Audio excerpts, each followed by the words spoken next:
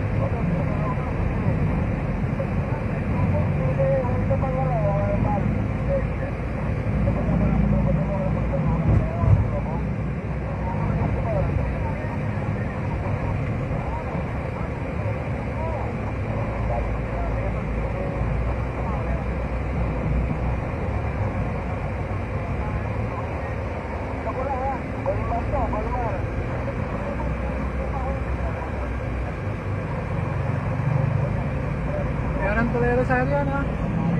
Meron po.